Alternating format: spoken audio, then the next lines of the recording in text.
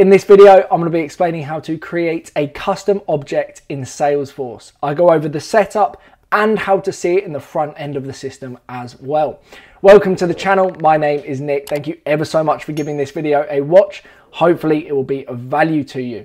Just before we get into the video, if you need any help at all setting up Salesforce for your business, check out my website below.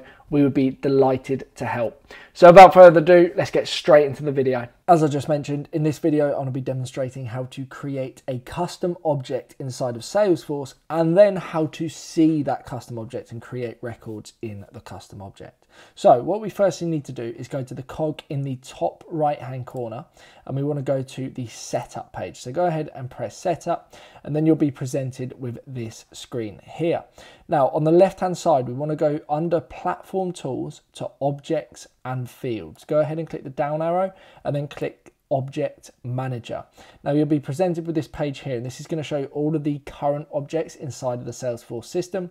What we want to do is go to create in the top right hand corner and go ahead and press create custom object go ahead and click that and you'll be going to be presented with this page here. Um, the, the front end of Salesforce is on Salesforce Lightning, the back end is still on Salesforce Classic. So just go ahead and press click here to open page in Salesforce Classic and you're going to be presented with this screen here. Now this may seem very overwhelming, but trust me, I'm going to walk you through everything. It's super, super simple. So firstly, we need to give our object a name. So I'm just going to call this example object for the time being. Now, as you can see here, we've got label and plural label. So what that allows us to do is example object and example objects, or whatever it may be. So as you can see for account, we've got account and then accounts plural, of course. So once you're happy with that, we've then got the starts with vowel sound. You can tick or untick that if you would like to. We've then got the object API, which is automatically filled out when you put in the label. You can change this if you would like to. You can also put in a description that refers back to the object or what it's for. Uh, again, entirely up to you if you would like to. We've then got this option here. I would leave this as selected as the open standard salesforce.com help and training window. I know that's a bit of a mouthful. I would just leave that ticked. And then moving down the page, we've got the record name name. So this is what the record is going to be called. So as you can see, you've got like account name. It's going to be example object name. Uh, so contact name, opportunity name, but you can change this if you'd like to. So if you just want to call it example name as opposed to example object, whatever you're creating it for, then you can do that. And we also get a choice of deciding what the name of the record is going to be. So we can select the data type as being text as it is now, but we can also use this drop down menu and select auto number. So that will be an automatically generated number.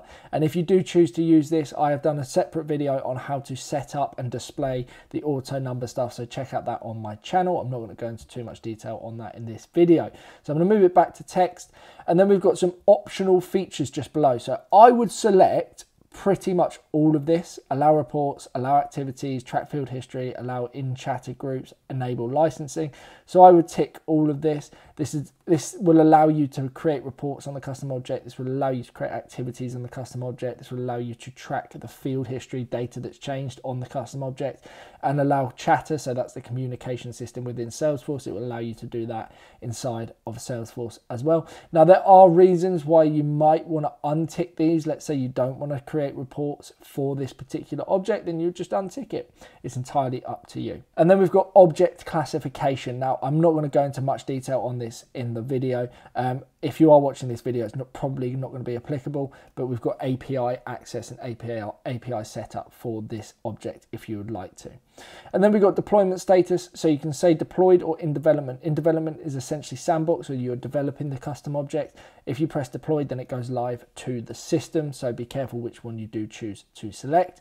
And then we've got search status. So this allows you to search records on this object throughout the entire system. So if you're going to be using this object every single day and it's going to come part and parcel of your Salesforce system, like uh, like contacts, leads, opportunities would also, I would tick allow search, so it's then searchable content. So any new records added to the object can then be searched across the system.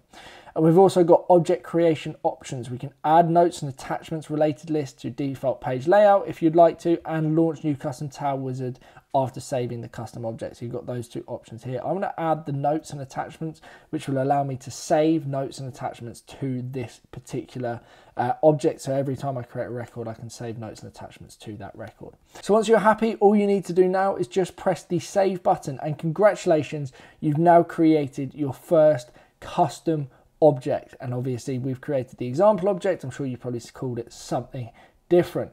Now, let's head back to the Salesforce page and let's just refresh the screen. You will notice that it doesn't exist. So you've now refreshed the page and you may be wondering, well, where exactly is my custom object? My The example object, in my case, that I just made, it's not in the menu up the top here. If I go to the button up the top left-hand corner and search example object, it doesn't exist. I can't add it to the navigation bar. Well, let me show you how to do that as well. So if we go to the custom object tab that we were just on, you'll be presented with this screen here. Now what we need to do is go to the quick find at the top left hand corner and just search tabs and then you want to go to create and then just go to tabs okay? You can use you can find it under the build area as well as you can see and we want to create a custom object tab. Super super simple. As you can see here we've got custom objects tab up the top. Go ahead and just press the new button and then we need to select the custom object we're creating the tab for. As you can see, I've only got one, so I'm just going to select my example object, and then we can select a tab style. So this is going to be like the emoji kind of thing on the left-hand side when you create a new record. Uh, I'm just going to you choose one that's most applicable, but in this case, I'm just going to choose, let's say, laptop, for example. And then you can select a splash custom link if you have one, and you can also add a short description for the tab, but I wouldn't worry about this at all. Then go to the bottom right hand corner and press the next button, and then you're going to be presented with this screen here, and this is for the profiles. Now, if you would like to create different profile and access to this custom object, this is where you're going to do it. So if you select apply different tab visibility for each profile, and then you can select the visibility. So let's say for the standard user, I do not want them to be seeing. So I'll just select tab hidden. So standard user will never be able to see this particular custom object, whereas every other user inside of the system will. I'm just going to leave it as default on and I'm going to say apply one tab visibility to all profiles just for the sake of this video, but hopefully you see why this is useful. Once you're happy, just press the next button and then you do not need to worry about this for the custom apps. Just go ahead and press save. Now, congratulations, you've also created the tab for your example object, whatever custom object you have just created.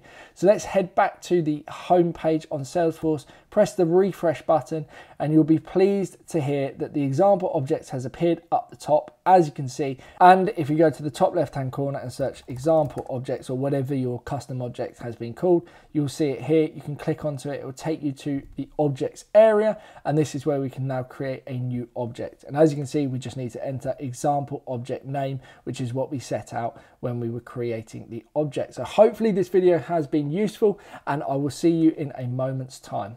Hopefully you have now successfully set up your custom object inside of Salesforce. If you have enjoyed the video or found it at all useful, please consider giving it a like, possibly even subscribing. If you have any additional questions, feel free to drop a comment below or you can email me as my details are in the description below and I'll do my absolute best to answer any questions you do have. Thank you ever so much for watching and I'll hopefully see you shortly in the next video. Thank you and goodbye.